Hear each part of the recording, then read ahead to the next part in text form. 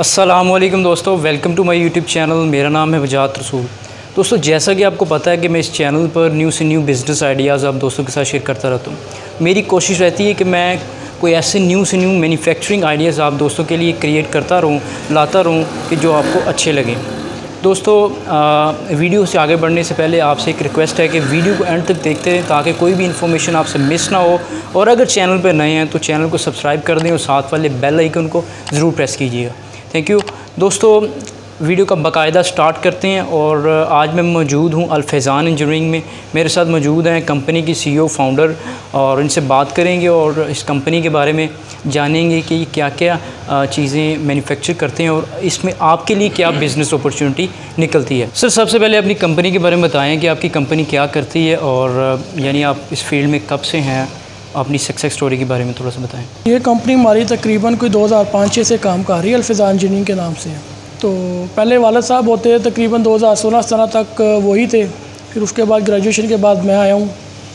ठीक है। तकरीबन मुझे इस काम में आए हुए तीन से चार साल हो गए हैं।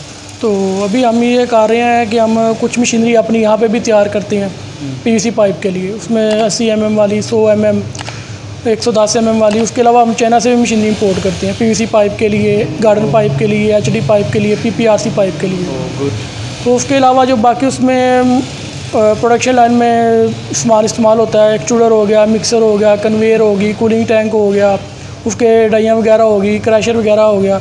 वो सारा सेटअप हम यहाँ पाकिस्तान में अपना खुद ही तैयार करते हैं। तो माशाल्लाह अल्हम्दुलिल्लाह हमारे सेटअप इधर पेशावर लाहौर मुल्तान वाली साइड पे। आल पाकिस्तान में चाह रहे हैं उसके अलावा अफ़गानिस्तान में दूसरे मुल्कों में भी हम हमारी सप्लाई जाती है। आपकी कंपनी कौन कौन सी मशीन्स बनाती है? और इनके बारे में बताइए कौन कौन सी चीज़ें आप कवर कर सकते हैं इसमें? हम बनाते हैं यहाँ पे प्लास्टिक के रिलेटेड मशीनरी तो प्लास्टिक जो जो फ़ील्ड है वैसे तो काफ़ी बड़ी है लेकिन हम उसमें से कुछ एक हिस्सा ही कवर कर पाते हैं। जैसा कि अभी पीवीसी पाइप है जो सीवरेज में बोरिंग में या ड्रेन वगैरह में इस्तेमाल होता है उसके अलावा पीपीआरसी पाइप है। उसकी मशीनरी भी हम बनाते हैं। और ये एचडी पाइप होता है एडेंसी पाइप गार्डन पाइप होता है। ये वगैरह उसकी मशीनरी और बाकी जितना भी सामान है जो मुकम्मल एक फैक्ट्री को चलाने के लिए इस्तेमाल होता है वो हम सारा सामान यहाँ तैयार करते हैं। उसमें दो तरह का आता है कि चाइना से भी इम्पोर्ट होता है कि लोकल बनता है हम दोनों तरह के उसमें डील करते हैं। ठीक है सर नेक्स्ट क्वेश्चन ये है कि आ, हमारे व्यूअर्स देख रहे हैं इस वीडियो को। तो उनके लिए आपकी इस मशीन्स में आपकी मैन्युफैक्चरिंग में जो आप काम कर रहे हैं उनके लिए क्या बिज़नेस अपॉर्चुनिटी क्रिएट होती है? यानी आपके साथ जुड़कर वो किस तरह से बिज़नेस कर सकते हैं? इसमें तो ऐसा है कि अगर कोई पीवीसी का काम करना चाहता है, वैसे भी काफ़ी लोग कर रहे हैं। इसमें मार्जिन भी अच्छा है प्रॉफिट भी अच्छा है इन्वेस्टमेंट थोड़ी सी बड़ी होती है, लेकिन अगर बंदा थोड़ी सी मेहनत करे मार्केट को अच्छी तरह कैप्चर करे तो ये काफ़ी बड़ी फ़ील्ड है। अगर पीवीसी पाइप की सप्लाई करे या कोई भी काम है टाइम माँगता है, अपना टाइम दे तो काफ़ी अच्छा मतलब कि प्रॉफिट मार्जिन इसमें से निकल आता है। सर कम अज़ कम किसी ने बिज़नेस स्टार्ट करना हो तो कम अज़ कम कितनी इन्वेस्टमेंट उसके पास होनी चाहिए? यानी कितने पैसे हों वो कोई मैन्युफैक्चरिंग शुरू कर सकता है? इसमें तो ये है कि मशीनरी है पहले वो किस तरह का काम स्टार्ट करना चाह रहे हैं। अगर पीपीआरसी का करते हैं उसके लिए इन्वेस्टमेंट कम होती है। अगर एचडी का करते हैं उसके लिए कम लेकिन पीवीसी के लिए इन्वेस्टमेंट ज़्यादा चाहिए होती है। तो पीवीसी के लिए समझ लें कि कोई बड़ी इन्वेस्टमेंट होती है।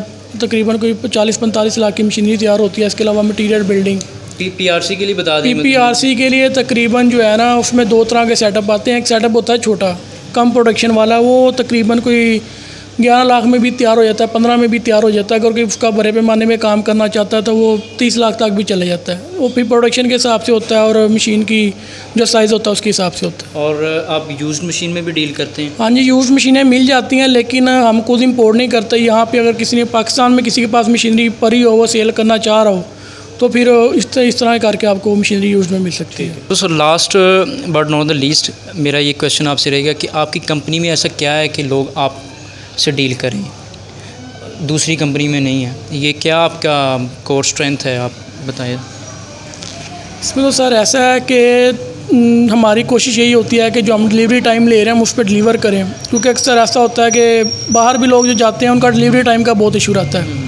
कि टाइम लिया उन्होंने दो माह का वो जी छः माह लगा दी हमारा कोशिश होती है अगर हमने दो दो माह का आपसे डिलीवरी टाइम लिया तो हम आपको दस पाँच पाँच दस दिन पहले ही डिलीवर कर दें। उसमें ऐसा होता है कि हम आपको फिर जब मशीनरी आपने ले जानी है तो उसको एक दफ़ा आपको सैम्पलिंग करके देनी है और आफ्टर से सर्विस हम हमारी हम ये समझते हैं दूसरों की नस्बत बहुत अच्छी है। तो यही बात है जो हमें दूसरी कंपनियों से ठीक है सर लास्ट क्वेश्चन ये होगा कि आपकी कंपनी कहाँ है? मतलब कहाँ पे हैं आप बैठे हैं इस इस वक्त? हम कहाँ पे मौजूद हैं? थोड़ा सा अपना एड्रेस वगैरह बता दें ताकि लोग आपसे डील करना चाहें आपके पास आना चाहें विज़िट करना चाहें मशीनरी आपसे बाय करना चाहें तो कहाँ पे आएँ? हमारी कंपनी है शाहदरा में सुई गैस रोड पे। तो सुई गैस रोड इसका एड्रेस बनता है ऐसा कि चमन कलोनी शाहदरा लाहौर सुई गैस रोड। तो यहाँ पे आके हमें कॉन्टैक्ट नंबर हमारा वैसे भी फेसबुक पे पेज है। वहाँ अगर किसी ने कोई वीडियो वगैरह देनी हो या एड्रेस वगैरह होना हो तो वो वहाँ सब कुछ मेंशन हुआ हुआ है। आप अपना अपना कॉन्टैक्ट नंबर मेंशन कर देंगे? लोगों को बता दें। कॉन्टैक्ट नंबर हमारे हैं एक है zero three zero eight four zero triple one two one और दूसरा है zero triple three four zero four zero three zero five ठीक है sir thank you thank you sir तो दोस्तों ये थी आज की वीडियो। उम्मीद करता हूँ आपको वीडियो अच्छी लगी। वीडियो अच्छी लगती है तो दोस्तों के साथ शेयर कर सकते हैं और वीडियो को लाइक कर सकते हैं। थैंक्स फॉर वॉचिंग अल्लाह हाफिज़। पाकिस्तान जिंदाबाद।